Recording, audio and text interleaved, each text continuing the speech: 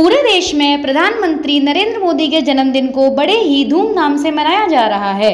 भाजपा के कार्यकर्ताओं ने पूरे उत्साह के साथ मनाया प्रधानमंत्री नरेंद्र मोदी का जन्मोत्सव। जहाँ मोदी जी के जन्मोत्सव पर प्रशंसकों ने केक काटकर लंबी उम्र की दुआ की तो वहीं मथुरा में यमुना का पूजन कर प्रधानमंत्री नरेंद्र मोदी की दीर्घायु की प्रार्थना की गई। साधु संतों ने भी नरेंद्र मोदी के जन्म दिवस पर केक काटकर उन्हें बधाई तथा आशीर्वाद दिया। तो वहीं उत्तर प्रदेश के कई शहरों से विपक्षी खेमे द्वारा मोदी जी के जन्मदिन के विरोध की तस्वीरें भी सामने आई हैं। प्रधानमंत्री नरेंद्र मोदी के जन्मदिन पर कांग्रेस कार्यकर्ताओं ने पकौड़े तले तो वहीं समाजवादी पार्टी के कार्यकर्ताओं ने बूट पॉलिश कर बेरोजगारी दिवस मनाया। भीख मांगकर प्रधानमंत्री नरेंद्र मोदी के जन्म दिवस को भिखारी दिवस के रूप में मनाया।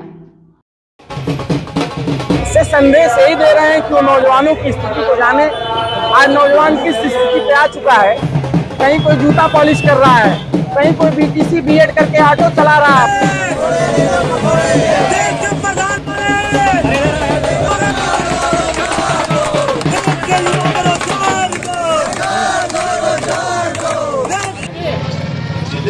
जो आज का जो going to celebrate Modi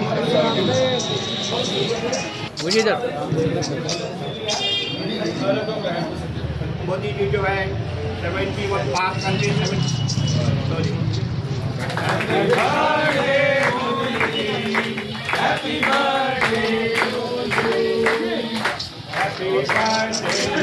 से संदेश यही दे रहे हैं कि वो नौजवानों की स्थिति को जाने। आज नौजवान किस स्थिति पे आ चुका है? कहीं कोई जूता पॉलिश कर रहा है? कहीं कोई बीटीसी बीएड करके ऑटो चला रहा है? कहीं कोई बीटीसी बीएड बीटेक करके चाय की दुकान खोला है? हीप सिंह, उत्तर प्रदेश युवा कांग्रेस का प्रदेश सचिव हूँ। रामपुर और ज़िले का इंचार्ज बनाया गया हूँ। आज हमारे कांग्रेस पार्टी के राष्ट्रीय नेतृत्व द्वारा उत्तर प्रदेश और पूरे देश भर के अंदर। आज प्रधानमंत्री का जन्मदिन नहीं, आज देश के अंदर राष्ट्रीय बेरोजगारी का दिन है। जिस तरह देश के अंदर, देश का युवा बेरोजगार घूम रहा है और देश के अंदर हज़ारों भर्तियाँ खाली होने के कारण देश का युवा आज गली गली पकौड़े का, तलने का काम कर रहा है।